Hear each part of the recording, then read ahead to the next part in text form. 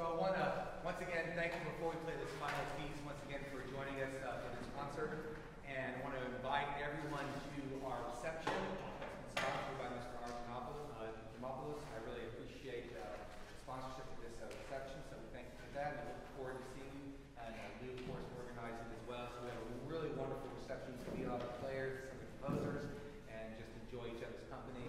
Uh, a few quick words about this last piece, was, which I think is a little interesting about, uh, kind of we started the evening talking about the uh, counterpoint between Greek nationalists and Greek American composers.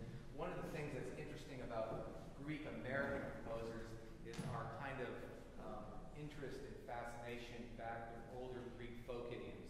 And so it's not uncommon in the United States, and many of you know this, of course, to have Greek festivals where we have Greek folklore costumes and we dance in our folklore costumes and we play Greek folk music. And this is something that's not always done uh, to the same extent in Greece, but this is something that Greek Americans have embraced. And, and that's something that I found uh, as a great source material in my own music. Um, I'll never forget my uh, teacher, Donald Erb, uh, told me one time I was looking at a piece of music of mine, it was all abstract and gnarly, and I wanted to be really intense about it. And there was this one